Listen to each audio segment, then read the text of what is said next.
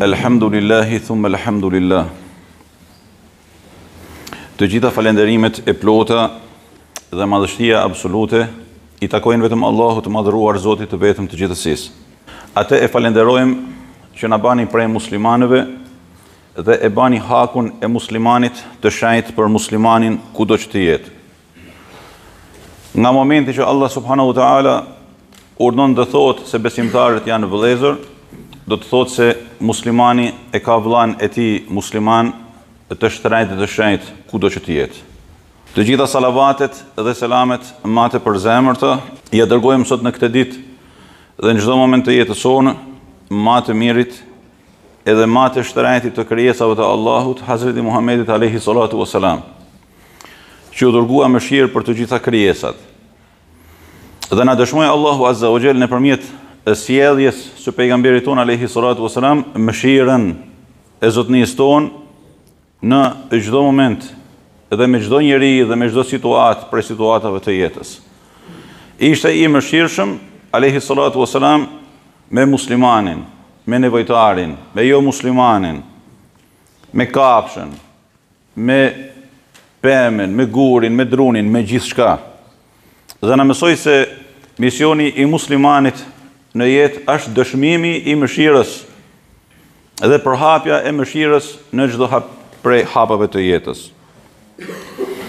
Gjatë këtyre ditëve edhe thuaj Ma shumë se një muaj, të gjithë ne e ndjekim me dhimbje shumë të madhe atë që ndodh në Gaza, në Palestinë, dhe që natyrshëm nuk duhet me e ngushtu angazhimin edhe përkushtimin rreth kësaj çështje thjesht me këtë që ndodh në këtë periudhë të ngushtë kohore, por me e zgjanu dhe me e hap vizionin Rreth kësaj këtu edhe tetëdhjetë vite a ma tepër. Për të mos hy në detaje që nuk është vendi edhe as koha, por ajo që du për me e thanë asht ajo që ndodh sot në në Gaza asht dëshmia ma e madhe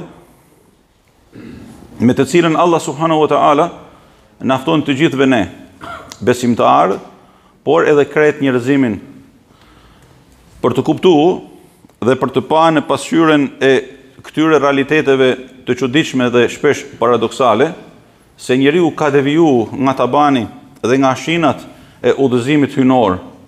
Dhe njeriu i cili nuk ka besim, edhe njeriu i cili nuk e ka frikë Zotin e gjithësisë, musliman në pretendim a jo musliman, është modeli ma i shëmtuar i historisë së njerëzimit.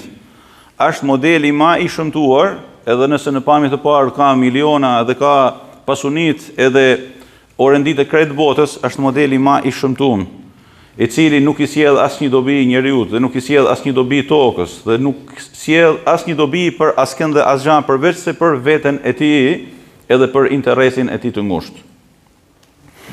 Ajo që dëshmojmë dhe shohim sot në Gaza Nuk është asgja tjetër, veçse një shfaqje e dhunshme e një barbarie të padëshmume më parë për të gjithë ne, por edhe po të shfletojmë në historinë e njerëzimit, ndoshta mund të ndalemi në disa emra të përveçëm dhe të themi a mos ka ba siç bajnë sot këto Xhingis Khani, a mos kanë ba tatarët kur hynë në Bagdad, a mos kanë ba para tyne faraonët, mos kanë ba e mos kanë ba dhe t'i përmend emrat, ma të dhunshëm dhe dëshmuesit ma të zellshëm të terrorit mi faqen e dheut. Mirëpo, teksa të gjithë ne i shohim dhe ndjekim këto lajme dhe lutemi me zemër për vllezërit tanë në Gaza, përtej thirrjeve e, me dy standarde të politikave të ndryshme andaj këndej, ka një detaj i cili nuk duhet me devijue, Edhe nuk duhet me u largu nga mendja edhe arsyeja e asnjënit prej nesh. Tema kryesore për të cilin për të cilën sot duhet me folë dhe me tërheqë vëmendjen asht tema e vllaznisë në Islam.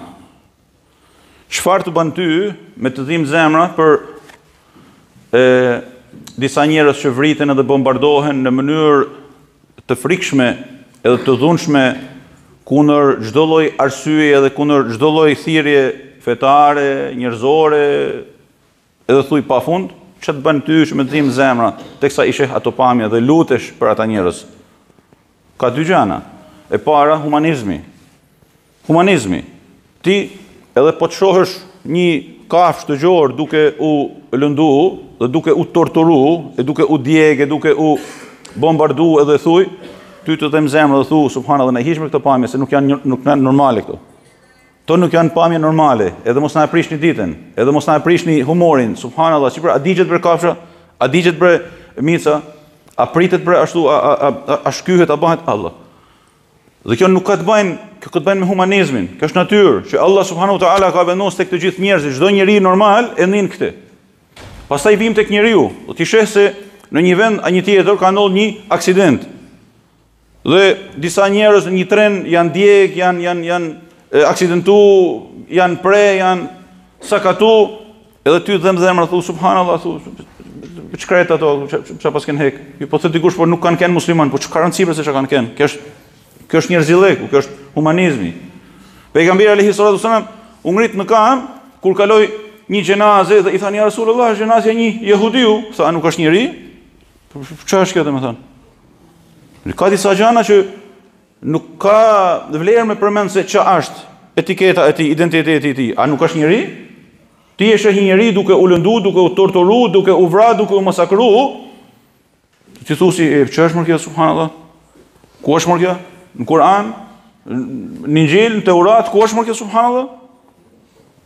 Dhe ti e refuzon atë. Kësisoj, ne dyfish e refuzojmë dhe e dënojmë këtë që ndodh në Palestinë, por jo vetëm.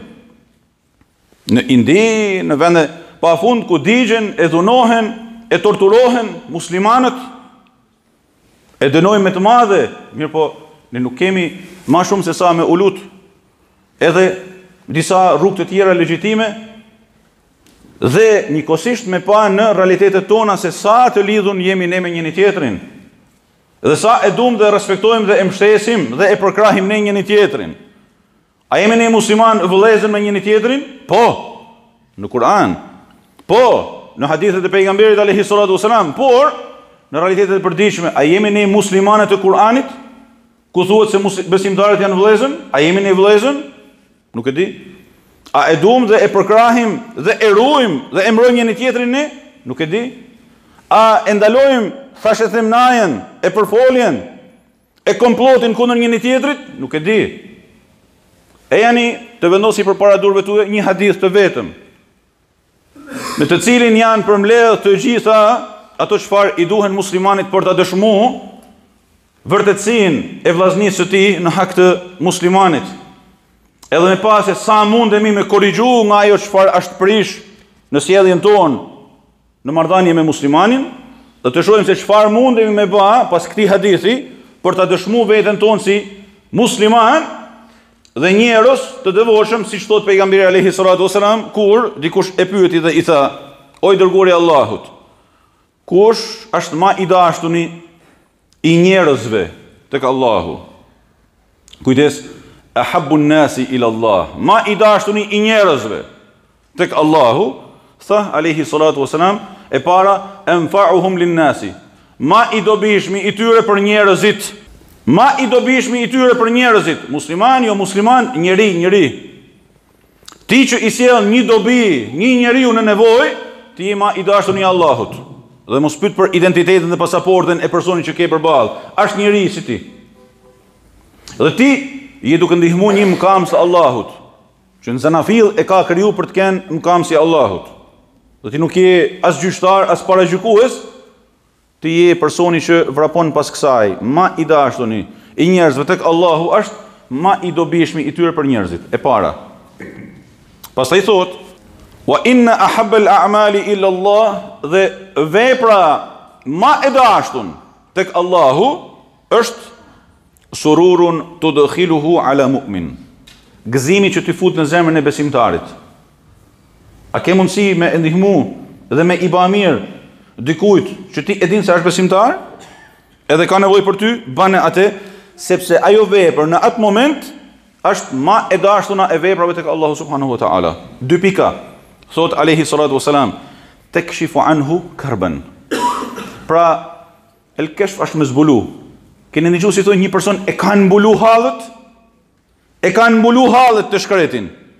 Pejgamberi thotë, me ia zbulu këtë perden e halleve, ti je duke ba atë që është vepra ma e mirë. Nëse ti din, edhe një, se dikush, prej shokëve tuj, prej vllezënve tuj, prej atyne xhamisë, prej besimtarëve, ka një hall, ka një telash edhe ti mundesh me ja largu atë, me ja zbulu dhe me dal nëpërmjet teje nga ajo që e ka mbulu, bane, sepse në këtë moment ti po dëshmohesh si vepruesi i veprës ma të mirë edhe ma të dashtun tek Allahu subhanahu wa taala. Pastaj thotë Ose të shlyesh për të një borxh. Pra ti din ose ke mësu se filani prej shokëve të xhamisë, prej vllezënve tanë, pra prej besimtarëve, është në borxh. Mirëpo, ka prej tyne njerëzve që si, siç i përmend Kur'ani i famëlartë janë kaq të rujtun, sa që njerëzit mendojnë se këta janë pa halle, pa probleme e pa telashe, pse se nuk flasin. Edhe janë të rujtun, edhe nuk i ankohen askujt. Nëse ti zbulon një prej këtyne edhe përpiqesh me ja largu një hall, me ja shly një borxh, me e ndihmu në shlymjen e një borxhi e kështu me radhë, ti po ban veprën ma të mirë edhe ma të dashtun tek Allahu subhanahu wa taala. Pastaj thotë, ose të dëbosh prej tij urinë. Njëri prej nesh asht në gjendje të keqe ekonomike. Sa nuk ka bukë me hangër te shpia, dhe ti e ke konstatu këtë edhe hesht, ti nuk je në rregull. Edhe nëse nuk mundesh me ndihmu, ti duhesh me i thanë dikujt prej shokëve, prej vëllezërve, e filani është në gjendje shumë të keqe ekonomike. Ata mezi hanë bukë. Unë di raste di raste në këtë qytet, edhe në xhamitë tona, që fëmijë të vëllezërve tanë që nuk dinë se çfarë është kjo dhe ajo, prej shumë e shumë ushqimeve që ndoshta shpesh herë edhe abuzojmë me to në shtëpitë tona. Pastaj thotë sallallahu alaihi wasallam, "Wa li an amshia ma akhil muslim fi hajatin Dhe të ec pra të angazhohem për të ndihmu vëllanë tim musliman në një nevojë të tijen, është ma e dashtun për mu se sa të baj itikaf, ahabbu ilejja min en a'tekifa shahrejni fi mesxhid, është ma e dashtun për mu se sa të baj itikaf dy muaj rresht në një xhami. O, oh, itikafi, i dhjetë ditëve të fundit të Ramazanit, o, oh, sa i madh është, sa, sa i rëndësishëm është, sa i dobishëm. Ka pas raste që në xhaminë e pejgamberit alayhi salatu wasalam Hazreti Abdullah ibn Abbasi dilte dhe linte itikafin për t'i kry nevojën një muslimani dhe teksa i thonin po ti e prishe itikafin thoshte me e ndihmu vëllaun tim dhe me ecë në nevojën e tij dhe hallin e tij është ma e dashun se sa itikafi në këtë xhami muaj e muaj Kujdes. Pastaj pejgamberi alayhi salatu wasalam tha, dhe ai që e frenon zemërimin e tij, Allahu do t'ia mbulojë të metat e tij. Ka shumë raste kur muslimani provokohet edhe nga vëllau i tij musliman, por jo vetëm, sidomos nga vëllau i tij musliman, edhe e frenon zemërimin e tij. Nëgjon fjalë të pavërteta, Lexon broçkulla qesharake, nigjon çfarë nuk duhet, edhe lexon çfarë është e neveritshme dhe e frenon zemërimin për diçka që është ma e rëndësishme se sa interesi i ngushtë i këtij apo atij. Dhe pejgamberi thotë se ai që e frenon zemërimin e tij, në këto momente Allahu ia mbulon të metat e tij. Pastaj thotë, edhe ai që e Mban mllefin e tij, e mllefi është kulmi i zemërimit, edhe ma shumë se sa zemërimi momental, dhe ai që e mban dhe e frenon mllefin e tij, wa lau shae en jumdijehu amdahu, edhe nëse ai dëshiron që ta, domethanë, ta nxjerrë dufin e tij, e nxjerr atë, por frenohet, thotë mele Allahu kalbehu ridha, Allahu do t'ja mbuloj, do t'ja mbush zemrën e tij me pëlqim dhe kënaqësi. Keni pa një person i cili është besimtar, edhe i shijon çdo gjë, i shijon namazi, i shijon uji, i shijon ajri, i shijon neja. Pse? Thot elhamdulillah, elhamdulillahi rabbil alamin. E ka zemrën e mushun me pëlqim dhe kënaqësi nga Allahu subhanahu wa taala. Pse? Sepse është largu nga banalitetet. Është largu nga banalitetet. Ka pas një moment që është provoku për të folë, për të reagu, për të sha, për të... I ka hel tutje. I ka hel tutje. Dhe ka vazhdu rrugën e pëlqimit të Allahut Subhanahu Wa Ta'ala sa i ashtë mush zemra e tij me pëlqim dhe bekim nga Allahu Subhanahu Wa Ta'ala. Pastaj thotë, dhe ai person i cili ecë me vëllan e tij musliman për t'u kry nevoja e tij, kam një hall, kam një nevojë, dhe më kanë thënë se filani mundet me të ndihmu dhe ti i shkon atij i troket në derë dhe i thot patjetër edhe në 12 të natës unë jam me ty pejgamberi thot kush e ban një gja të tillë Derisa ajo çështje të kryhet, Allahu subhanahu wa taala do t'ia forcojë, do t'ia bëjë këmbët e tij të qëndrueshme në ditën kur do të dridhen këmbët, pra ditën e gjykimit, ditën e mahsherit. Edhe masi i kemi përmend tan këto detaje nga ky hadith i pejgamberit ton alayhi salatu wasalam, ka një fjali me të cilën e përfundon hadithin. Domethanë ti që bën këte, këte, këte, këte prej tanë këtyne rregullave edhe tanë këtyne mundësive që të jep pejgamberi alayhi salatu wasalam të thotë kujdes se ti mund t'i bash të gjitha këto por edhe mund t'i prishësh pa e kuptu cila është esenca dhe që i man të lidhuna të gjitha këto detaje me njëna-tjetrën thotë wa inne su'el khuluk le jufsidul amel kema jufsidul khallul asel edhe Ajo si arroganca edhe mungesa e edukatës e mirësjelljes, pra sjellja pa takt e pa etiket, e prish punën e mirë edhe veprën e mirë, siç e prish ufulla mjaltin. Se ti mundesh me e ndihmu tjetrin, po edhe me e shiku me përbuzje, me thënë hajde ti çka kështu dhe me me me përbuzë. Ai shumëzohet me zero.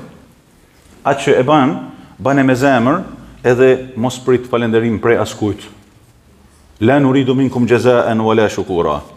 Nuk duam as falënderime, edhe as mirënjohje nga askush, sepse atë çfarë e bajmë, duhet me e ba për hir të Allahut subhanahu wa taala.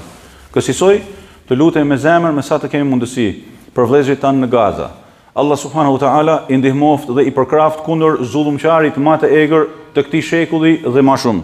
Allah subhanahu wa taala qoftë me vëllezërit tanë në Palestinën martire dhe e pastroftë ate nga zullumet dhe nga Ky pushtim barbar që ka ra mi kokat e tyne ne atë vend të shenjtë dhe në atë tokë të shenjtë.